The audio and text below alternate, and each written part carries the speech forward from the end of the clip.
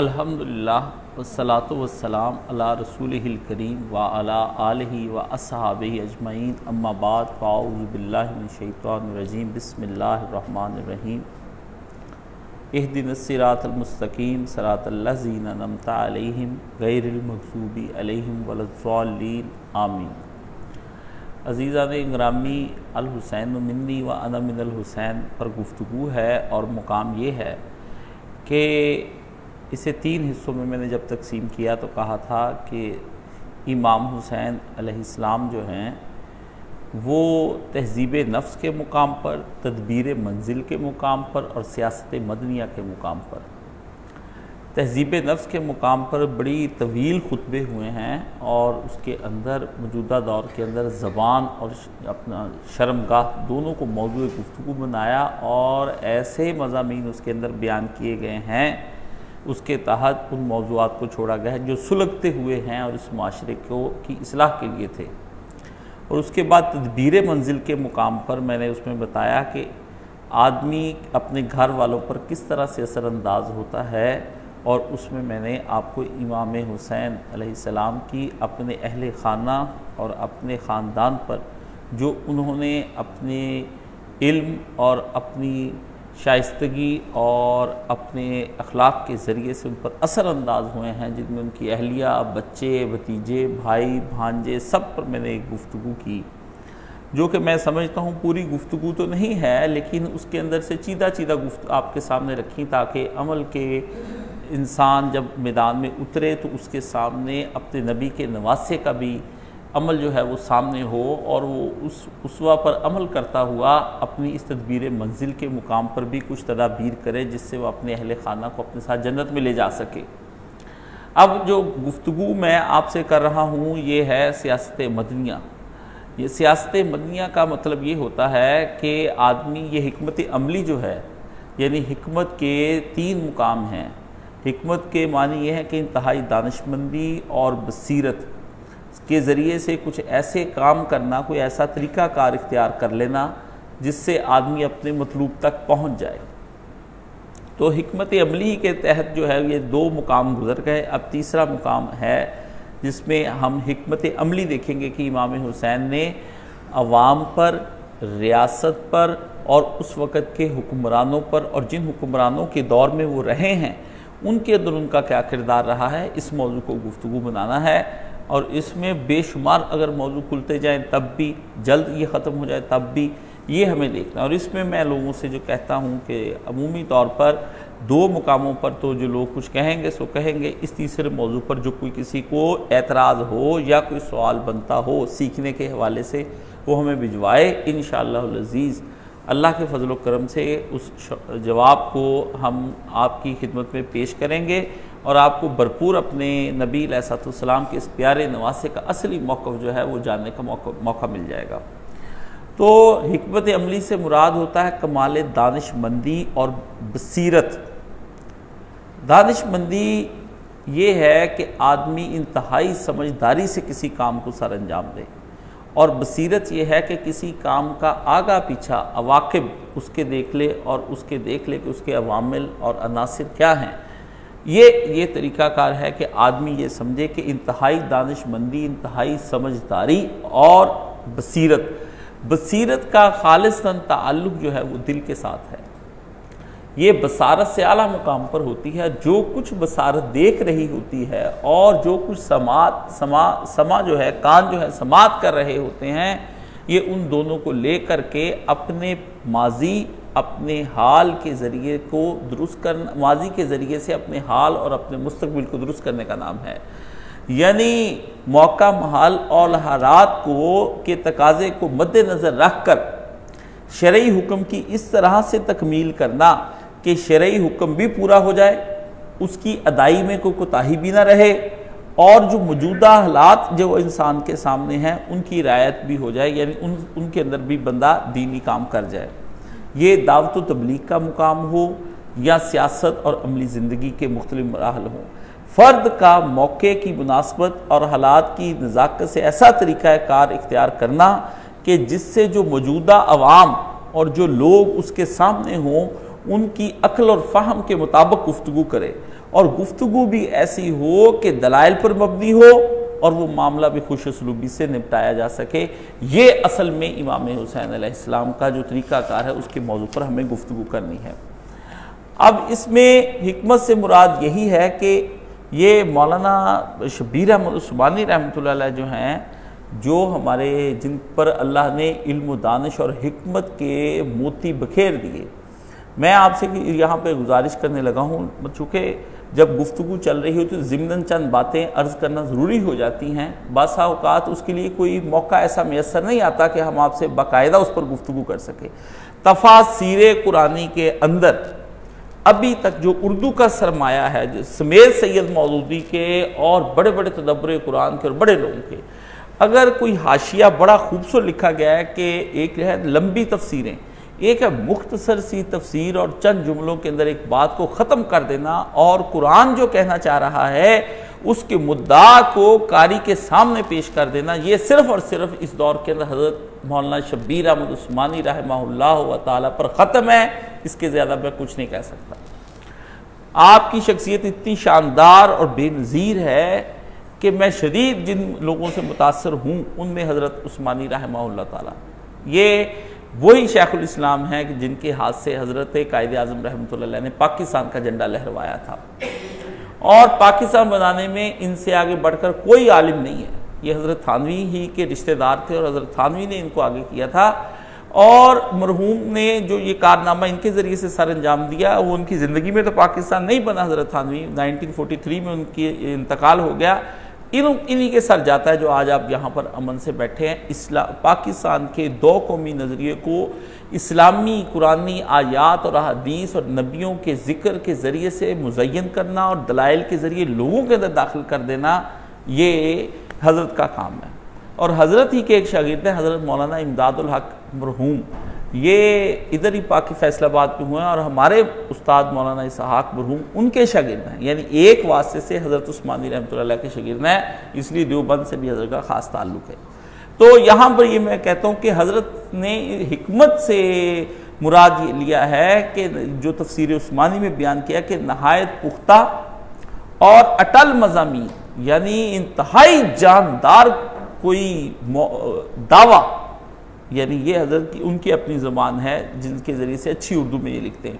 नहायत पुख्ता और अटल मजामी को मज़बूत दलाइल और बराहीन की रोशनी में हकीमाना अंदाज से पेश किया जाना कि जिनको सुनकर फहमोदराक और इल्मी जौक रखने वाला तबका गर्दन झुका दे। आप ज़रा सुनते जाएँ। ये इमाम हुसैन के बारे में मैं गुफ्तु करने लगा हूँ और इसके बारे में ये इस जुमले को सुनिए कि जो दुनिया ऐसे अंदाज से दीनी मजामी को आपने बयान फरमाया कि फ़हमोदराक यानी कुल साहबा इकराम मौजूद हैं। और इल्मी जौक रखने वाला तबका इबन अब्बास मरहूम जैसे, तबका भी अपना सर झुका दे और दुनिया के ख्याली फलसफे उसके सामने मान पड़ जाएँ। और किसी किस्म की इल्मी और दिमागी तरक्यात वही इलाही की बयान करदा हक़ का एक शोशा भी तब्दील ना कर सकें। यह है असल चीज़ जो इमाम हुसैन आसमाम का कारनामा सर अंजाम दिया है। तो इमाम हुसैन आसमाम ने, यानी दुरुस्त मौके पर ऐसी गुफ्तगुएँ फरमाई कि वो इंसानी दिल में उतर गई और ऐसा मौका आपने इख्तियार किया कि नरमी की जगह पर नरमी इख्तियार की और ऐसी गुफ्तु की जिससे उनके मुखातबीन को शर्मिंदगी भी ना हो और उनके दिल पर इमाम हुसैन ने अपना ख्याल और अपना जाविया नज़र और अपनी सोच उनके कलूब के ऊपर आपने जमा दी, सबत कर दी चस्पा कर दिया आपने उनके ऊपर। ये ऐसा मौका महल की। इसलिए इमाम हुसैन के जो खुतबे हैं, जो आपने मदीना से चले हैं और करबला के आखिरी दिन जो आपने तक आपने इर्शाद फरमाया, वो पढ़ने के काबिल हैं। और वो पढ़ने भी चाहिए। उनमें से एक एक खुतबा आपका ऐसा शानदार और बेनज़ीर है कि जिस तरह के हज़रत अली की नाहजुलबलागा दुनिया के अंदर मशहूर है, ये इमाम हुसैन ने किस तरह से, किस मौके पर कैसे खिताब फरमाया। सियासत मदनिया का ताल्लुक जो है, वो इमाम हुसैन की ज़ात है, लेकिन इससे पहले एक बड़ी अहम चीज़ आपको समझानी है और वो चीज़ आपकी समझ में अगर होगी तो इन शजीज़ आप महसूस करेंगे कि वो सारी की सारी चीज़ें जो हैं, बड़ी आला मुकाम पर इमाम हुसैन ने बयान की और कोई भी चीज़ उनमें से ऐसी नहीं थी जो बड़ी मुश्किल अंदाज में इमाम हुसैन ने बयान की हो। इमाम हुसैन ने अपनी इस सारी गुफ्तगु के अंदर एक ही चीज़ को मद्देनज़र रखा है और वो ये कहा है, एक सोच पैदा की उम्मत के सामने सब जगहों पर। आपको इमाम हुसैन दौरे हज़रत उम्र में मिल जाएँ, हज़रत बकर सदीक के दौर में भी। आप नौ से ग्यारह साल तक की उम्र आपकी बयान की जाती है। और जनाब हज़रत उम्र फ़ारूक भी थे, हज़रत उस्मान, हज़रत अली, यानी इमाम हुसैन के वालिद हज़रत अली तो हैं, लेकिन उनके खलीफा भी तो हज़रत अली थे। यानी कि बाप का तासुब होना एक अलग चीज़ है। लेकिन खलीफतुलमसलमिन की रियाया होना भी तो एक चीज़ था। और ख़ुद हज़रत हसन अलैहिस्सलाम जो हैं, वो उनके भाई ज़रूर हैं, लेकिन इमाम हुसैन उनके ताबे एक उम्मती और कमांडर इन चीफ की हैसियत से भी तो थे। इसलिए इन तमाम अदवार में, यानी दौरे अबू बकरो, उम्र, उस्मान, अली हसन सब के अदवार में इमाम हुसैन ने किस तरह से उनकी हुकूमतों पर असरअंदाज हुए हैं, इससे गुफ्तु हमें करना है। हमें गुफ्तु करना है कि इमाम हुसैन आसमाम अवाम पर किस तरह से असरअंदाज हुए हैं, इस पर गुफ्तु करना है। लेकिन उससे पहले एक तनाजुर कायम करना पड़ेगा, एक सनेरियो कायम करना पड़ेगा कि जिसके अंदर इस सारी गुफ्तु को समझना समझना आसान हो जाए। अब इसमें जो असल एक गुफ्तगु है, वो ये है कि इमाम हुसैन ने क्या कहा और किस मुकाम पर आप जाकर ठहर गए। दुनिया के अंदर एक कानून है कि माइट इज़ राइट जो आपकी ख्वाहिश नफ्स है, वही आप ताकत है। उसी के ज़रिए से आप जो कर गुजरे, जो कुछ करना है। यानी ताकत ही हक है। ताकत आदमी के हक आ गई तो फिर जो वो करे वो हक है। जो वो करे वो हक है। आप जरा इसको देखिए, ये असल में जो गुफ्तगु की जा रही है, अब पहले की तरह की गुफ्तु नहीं है। कि आप उन पर कैसे असरअंदाज हुए हैं? चूँकि हुकूमत का ताल्लुक सारे का सारा ताकत के साथ है, जिस हकूमत में जबर नहीं, जिस हकूमत में ताकत नहीं, वो हुकूमत नहीं हुआ करती। रियासत अगर अपने अंदर ताकत ना रखे, अपनी रिट कायम ना करे, अपनी बात ना मनवा ले तो रियासत के अंदर बागी और मुजरमीन उसका सारे का सारा निज़ाम तलट पलट कर दें और बर्बाद करके रख दें। ये है रियासत के साथ ये काम। अगर रियासत के पास ताकत नहीं, जबर नहीं, कुवत नहीं, ज़ोर नहीं तो वह खुशकुन ख्याल है और कुछ नहीं। इसमें उन साहिब का भी इरादा है जो ये कहते हैं, इस्लाम का कोई पॉलिटिकल सिस्टम नहीं है, कुछ भी नहीं। ये गांधी साहब और इनके साथ, वो वहीदुद्दीन खान इंडिया का मरहूम हो गए दोनों। ये मेरे नज़दीक तो दोनों ही मरहूम हैं। पहले से मरहूम, जिनकी इल्मी मौत, क्योंकि गांधी साहब अपने मौक़ से यूँ थे और बिल्कुल यूँ बदल गए जन मुशरफ के दौर में।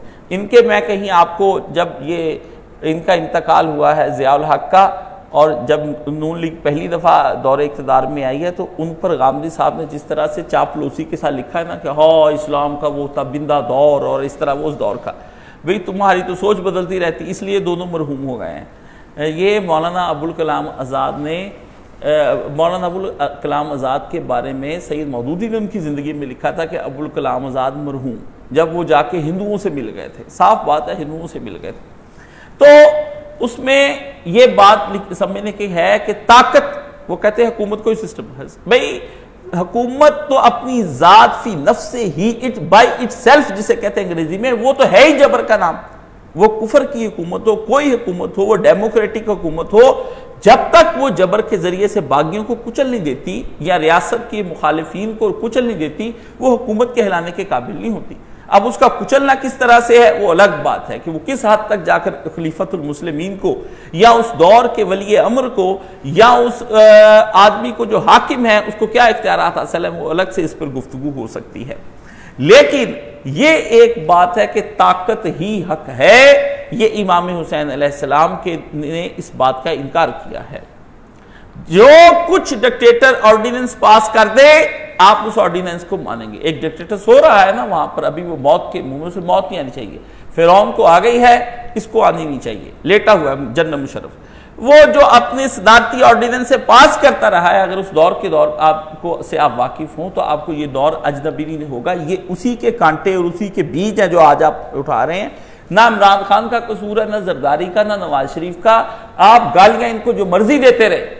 ये उस दौर के जब जमात इस्लामी उस डिक्टेटर के पीछे थी और उस डिक्टेटर को सपोर्ट कर रही थी। और ये इमरान खान उसको सपोर्ट कर रहा था। ये उस दौर की कांटे हैं जो ये आज आपके अंदर भूख, अफलास, महंगाइयाँ आप कर रहे हैं, ये उस दौर के हैं। जब मौलवियों ने मिलकर जनरल की वर्दी को बटन लगाए थे, ये उस दौर की हैं। वो दौर था कि जिसमें वो कहता था कि ताकत ही हक है। जो मैं कर रहा हूँ, वो ही हक है। जो मैं करूँगा, वो ही हक है। कौन है जो सर उठाए? जरा बोले तो सही है हमारे सामने, जरा सर तो उठाए। हम उसके बाप से ज़्यादा उस यहाँ पर हुक्मरानी के यहाँ पर हिस्सेदार हैं और ज़्यादा हमारी रायत है उसके हवाले से। अब यहाँ पर इमाम हुसैन ने जितना दौर भी गुजारा और जहाँ कहीं भी इमाम हुसैन ने जो अपनी सोच को अप्रोच किया है, आपने इसके उल्टे काम किया है। फरमाया ना, ताकत ही हक है नहीं, बल्कि हक ही ताकत है। ये इमाम हुसैन का सोच है। हक ही ताकत है। अब इस हक ही ताकत के अंदर इमाम हुसैन ने जो सोच और फ़िक्र इस दुनिया को अता फरमाई है, इस बात को समझने की ज़रूरी है। इसलिए लोगों ने इसको एक वाक्य के तौर पर तो ले लिया, लेकिन इस वाक्य से जो अख्ज हुआ वो नहीं लिया। इमाम हुसैन की कुल ज़िंदगी का हासिल यह है कि हक ही ताकत होता है। हक अपनी जगह पर हक को एक सबात है। हक मुतगैर नहीं होता, बदलता नहीं। सबात कहते किसी चीज़ का गाड़ देना और इस तरह से गाड़ देना कि उखाड़ने वाले भी उसको पूरी ताकतों के बावजूद उखाड़ ना सकें, पूरी कुतें लग जाए उसके अंदर। इसलिए ये बात समझ लेनी चाहिए कि आदमी ये समझ ले कि ताकत ही हक है नहीं। हक हक ही ताकत है। ये एक जुमला आपने इसके अंदर फ़र्क करना अगर सीख लिया तो आप यकीन जानिए यजीदियत के फाते हैं, जहाँ कहीं भी आप मुनाजरा कर रहे होंगे, आपके मुकाबले में जितने लोग आएँगे और आमरीत यजीदियत डिक्टेटरशिप और मलूकियत की तायद कर रहे होंगे। उनकी कमर तोड़ देने के लिए यही काफ़ी है। ये वो बूटी है, अक्सीर है, जिसको आप जितना घिसाते जाएँगे, इसमें से उतनी खुशबू बाहर इसके अंदर से बरामद होती जाएगी। इल्ला इसके लिए यह है कि इसके साथ अकल की बेहद ज़रूरत है, जिसकी शदीद कभी इस माशरे में पाई जाती है।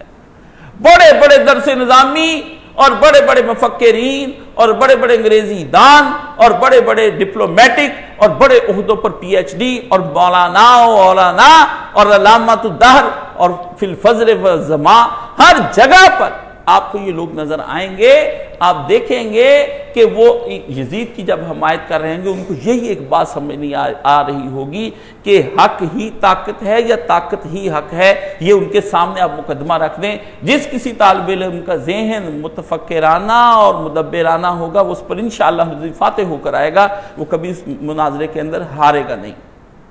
अब ये बात यजीदियत की फ़िक्र नहीं ये हर उस डिक्टेटरशिप चाहे वो किसी के ज़रिए से आया हो अगर वो खलीफतुल मुस्लिमीन भी है और वो अपनी बात को बिला दर, बिला बराहीन और बिला दलाइल बिला कुरान सुन्नत की दलील के हमारे ऊपर मुसलत करने करेगा या करने की कोशिश करेगा वो भी यजीद की ही एक किस्म है चाहे खलीफा बनकर हमारे ऊपर आया हुआ हो। आप इस बात को समझने की कोशिश करें। डेमोक्रेटिक है। खलीफा है, हमने चुनकर भेजा। यजीद इंतखाब शुदा आदमी नहीं है। मुंतखब नहीं किया गया है यजीद को। लेकिन अगर फ़र्ज़ करें कि हमने इंतखाब भी किया हो और वो आदमी अपनी बात को मनवाए तो दरअसल वो भी ऐसा ही है कि जो ये कह रहा है कि ताकत ही हक है, यानी जिसके पास ताकत है, वही हक है। उसी की पैरवी करो, उसी की तुम्हें मुताबियत करनी पड़ेगी, उसी की तुम्हें मुआवनत करनी पड़ेगी।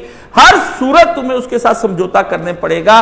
गोया ताकत की तईद करके और उससे तईद लेकर तुम ज़िंदगी ही गुजार दो। ये सारी की सारी ये ये आपके साथ इमाम हुसैन ने इस बात को अपने सामने रखा। आपने फरमाया, हमारे नाना का ये हुक्म है कि तुम ये बात अपने जहन में बिठा लो कि हक ही ताकत हुआ करता है। अंबिया कत्ल कर दिए गए और रसूल भी कत्ल किए गए। सिर्फ़ अंबिया नहीं, रसूल भी कत्ल किए गए जो उनसे आला दर्जे के थे। ये कुरान मजीद में हज़रत था, इसलाही फरमाते थे कि रसूल कत्ल नहीं हुए हैं। हालाँकि रसूल भी कत्ल हुए हैं। रसूलों को भी कत्ल किया गया और वहाँ पर क्या आप क्या समझते हैं कि जब रसूल खत्म हो गए तो फिर क्या रसूलों की जाहरी हयात के खत्म हो जाने से क्या हक भी खत्म हो गया? ये नहीं है। हक को आँच नहीं सैयद मदूदी ने एक जगह पर बड़ा शानदार जुमला लिखा था। फरमाया, हक कभी नहीं हारता। यह सैयद का एक जुमला है, अगर आपकी मैं अनायत के सामने रख सकूँ। फरमाया, हक कभी नहीं है। हाँ, अहले हक को शिकस्त ज़रूर हो जाया करती है, हक कभी नहीं हारता। हारते हैं तो वो लोग जो हक को जुटलाते हैं हारते हैं वो लोग जो हक के सामने आकर खड़े हो जाते हैं। हारते हैं वो लोग जो हक के सामने सर नहीं झुकाते हैं।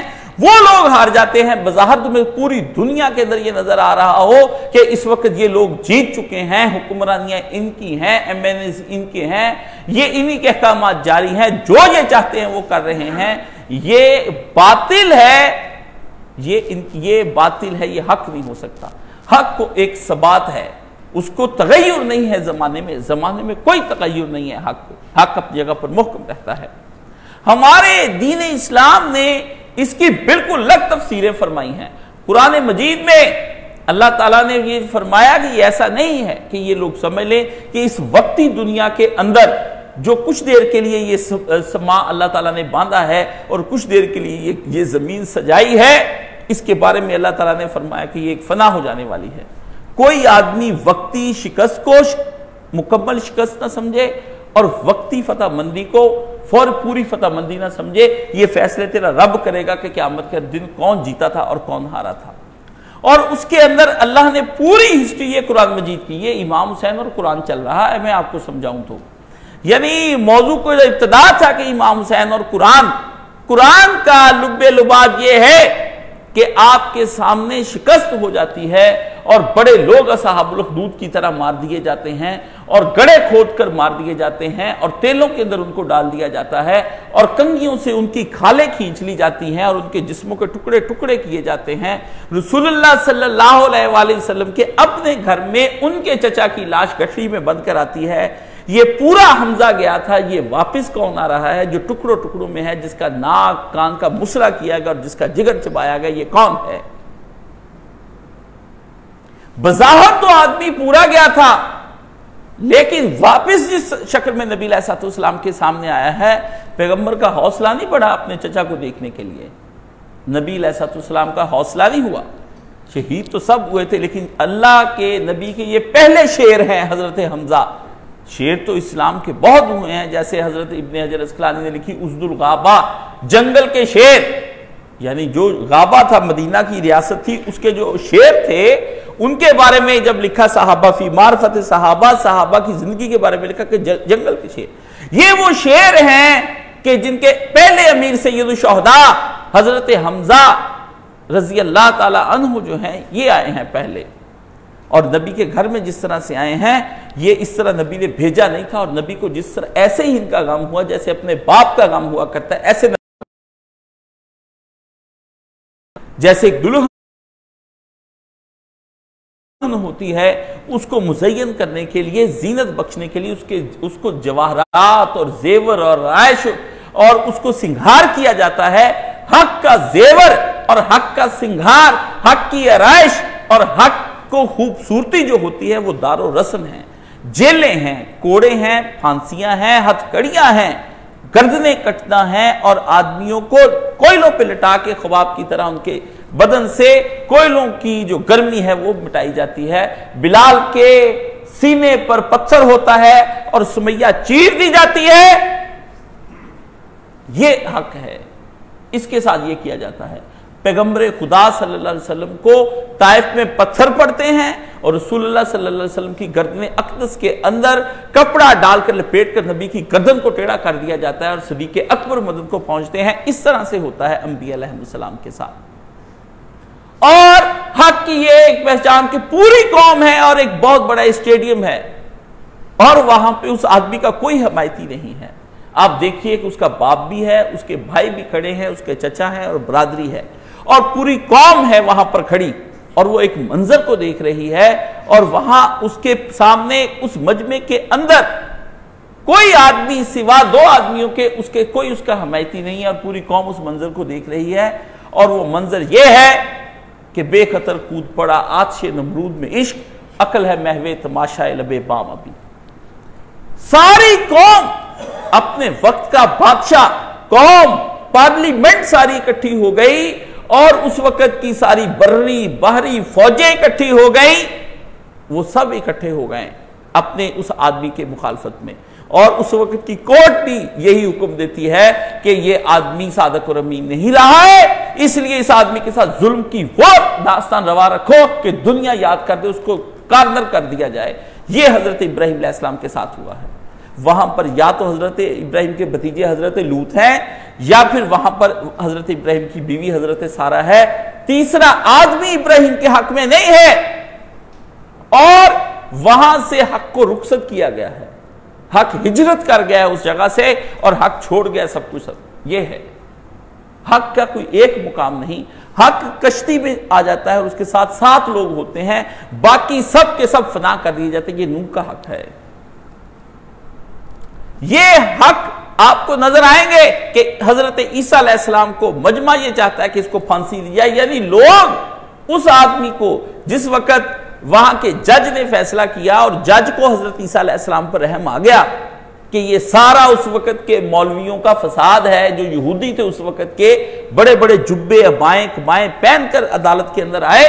तो जब वो अदालत के अंदर आकर बैठे हैं तो झूठा किस्सा गढ़ के हज़रत हज़रत ईसा को साहिर और जादूगर बना करके पेश किया कि ये तो जादूगर है और उसकी मौत का मुतालबा किया गया। तो वो जो रूमी था बुत प्रस्त रूमी, ये इलाहामी मज़हब को मानने वाले लोग हैं। खुदा को मानने वाले, रसूलों पर यकीन रखने वाले, किता आमन तो बिल्ला व मलाइकाती व कोतुब ही व रसुल ही ये अकीदा था यहूदियों का कि वो ईमान ला रहे थे। किताबों पर, रसूलों पर, आखरत पर, फरिश्तों पर अल्लाह पर उनका ईमान था। लेकिन वक़्त के नबी को वो चूँकि अपनी मुखालफत में पा रहे थे, इसलिए दलाइल बराहीन की बजाय उन्होंने उसको साहिर मशहूर किया। और उस वक़्त वो किसकी रियाया थे? आप ये देखिए कि वो उस वक़्त एक बुत प्रस्त रूमी बादशाह की रियाया थे, अंग्रेज़ों की रियाया थे। यूनान के सारे और दाएँ बाएँ के जितने भी रोम के लोग थे, ये अभी तक के सारा रोम जो है, ये अंग्रेज़ों की रियाया थे। हज़रत ईसा के दौर में भी अंग्रेज़ थे। रसूलुल्लाह के, क्या है? रसूलुल्लाह ने इनके बारे में क्या कहा है? हैरान हो जाएँगे आपका अच्छा नबी ने इनके बारे में कुछ फरमाया। तो हक किसके अंदर ये कौन सी चीज़ है? कि सामने खड़े हैं और आ गया। तो उसने ये कहा, रियायत देने की कोशिश की, जज ने अपनी तरफ़ से कि यार किसी तरीके से मैं इस आदमी को रैद दूँ, जिस तरह जस्टिस फाइज ईसा ने कोशिश की। तो कोशिश की उसने कि मैं इसको बचा लूँ।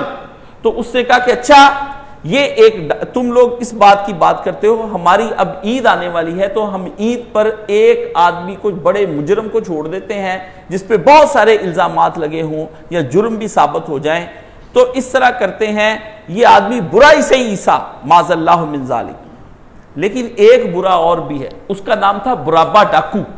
वो लोगों के बच्चों को कत्ल करता था कत्ले आम करता था, बिल्कुल लूटता था और लोगों को पता था, बड़ा जालिम किस्म का टुकड़े कर देता था इन बनी इसराइल के।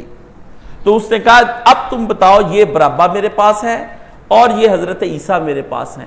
तुम इन दोनों में से, ए यहूदियों, ये बताओ कि मैं इन दोनों में से किसको ज़िंदा छोड़ दूँ और किसको मैं फांसी पर लगा दूँ? इन दोनों में से बुरा कौन है? सबसे ज़्यादा तुम बताओ। पूरी कौम ने एक जबान होकर कहा बुराबा को छोड़ दे। बुराबा बुराबा बुराबा उसको छोड़ दे। ईसा को फांसी लगा दे। यानी कौम अपनी इसलाह करने वाले को के बारे में यह कहती है कि इसको वो जो रू अल्लाह है, वो जो खुदा के हुक्म से पैदा हुए हैं वो जिनके हाथों पर तरह तरह के मोजात का जहूर हो रहा है, जिसकी माँ पकीजा इबन, हज़रत मरीम सलाम है।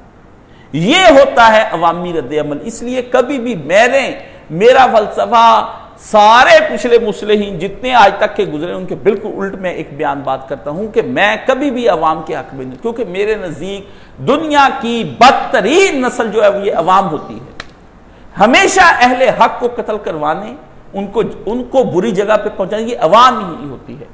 मैं कभी हुक्मरानों को इसलिए बुरा नहीं कहता कि हुक्मरान इस अवाम की दही का मक्खन होते हैं। गंदी अवाम के गंदे हुक्मरान। जैसे जैसे सालियत कम होती गई, वैसे वैसे आपके अंदर से, वैसे हुक्मरान आपके ऊपर आते रहे।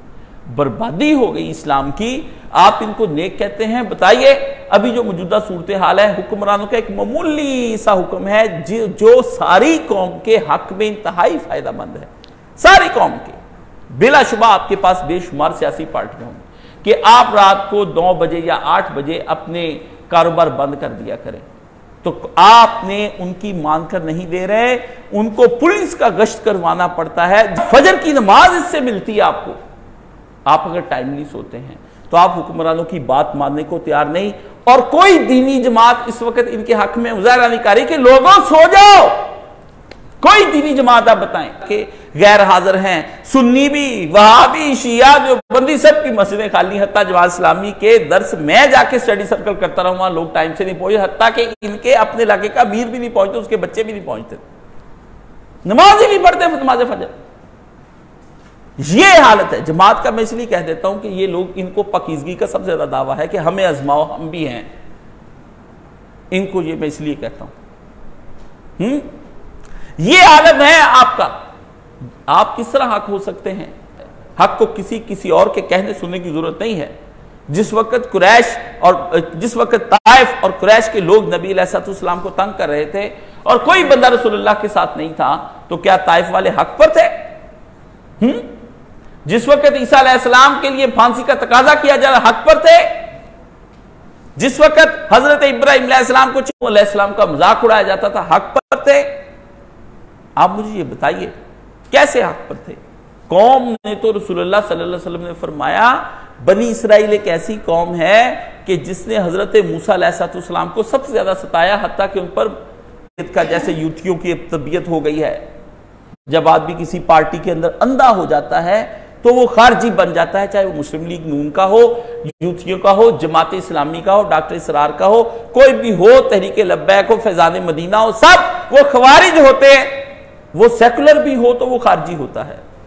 वो कितना ही पढ़ा लिखा हजूर कुछ कुछ बांट रहे थे। आ गया या अल्लाह के रसूल अदल कर। अल्लाह के नबी ने फरमाया, तेरी माँ तुझे रोए, मोहम्मद अदल नहीं करेगा तो कौन अदल करेगा? वो जी, मैं हक पसंद हूँ, मैं तो किसी की रखता ही नहीं हूँ। बद जबान और बद लिहाज नबी ने फरमाया, इसी तरह का एक ग्रोह होगा, वो दीन से निकल जाएगा। नमाजें बड़ी पढ़ेंगे बड़े उनके दावे ऊँचे ऊँचे होंगे लंबी लंबी दाढ़ियाँ और हलक से नीचे कुरान नहीं उतरेगा। फरमाया, यूँ निकल जाएँगे, जैसे ज़ोर से तीर निकलता हुआ, फाड़ता हुआ जानवर के पेट से निकल जाए और उधर को निकल जाए ना, उसको कोई दाग नहीं लगता क्योंकि तेज़ी के साथ वो गुजर चुका होता है। कोई उसको गलाजत नहीं लगती। फरमाया, ऐसे दिन से निकल जाएँगे, उनका कुछ नहीं बिगड़ कत्ल किया। तारीख में उन जैसा मुत्तकी परहेजगार नहीं है, लेकिन नबी का फैसला भी तो उनके बारे में आ चुका है। यानी बाजुकात लोगों को अपनी दीनदारी का बाहरी दीनदारी का इतना जाम होता है कि वो कहते हैं, हम हैं हक। मैं हूँ हक। ये नहीं हो सकता कि आप हैं हक। आप किसी जमात के अमीर हैं, मौलाना हैं, कुछ भी हैं, आप हक नहीं हो सकते हैं। हक हक है, वो एक अलग से खुदावंद आलम की तालीमत हैं जो इंसानों को दी गई हैं। वो कुरान हो सकता है या मोहम्मद अरबी सल्लल्लाहु अलैहि वसल्लम की सुन्नत और फरमान हो सकता है, इसके अलावा हक नहीं हो सकता। इंसान अपनी मर्ज़ी से हक की जानिब जा तो सकता है, मगर कुल्ली हक का अहाता नहीं कर सकता। यह आप बात अपने जेन में बैठा लें। इंसानी अकल क्या कहते हैं? चिरागे राह है, मंजिल नहीं इकबाल ने कहा था। आप हक की किरण देखकर तो जा सकते उस तरफ़। लेकिन कुल्ली हक का अहाता कर लेना यह इंसान के बस की बात थी। इसीलिए अल्लाह ने दूसरा नूर, जो नूर वही था, वो अल्लाह ताला ने बाहर से इंसान के अंदर डाला है। इंसान के अंदर का जो नूर है, दानश बुरहानी, इंसान के अंदर का जो नूर है, वो ममूली नूर है, वो ज़ीरो का बल्ब है। लेकिन आफ्ताब आलम ताब, जो पूरी दुनिया को चमका दे, ये खुदा की सिर्फ़ वही हो सकती है, इसके अलावा कोई और नहीं हो सकता। यहाँ तक कि मोहम्मद अरबी सल्लल्लाहु अलैहि वसल्लम ने अपनी मर्ज से सूरह तहरीम के शुरू में आता है कि बेगमात की खुशनूदी के लिए शहद को हराम किया तो अल्लाह ने फरमाया, नबी का यह फेल हक नहीं हो सकता। अल्लाह की हलाल की चीज़ को पैगंबर हराम नहीं कर सकता है। बताइए अब हक किधर को गया? समझाइए हमें। अल्लाह के नबी ने अपनी मर्ज़ी से लोगों को छोड़ दिया।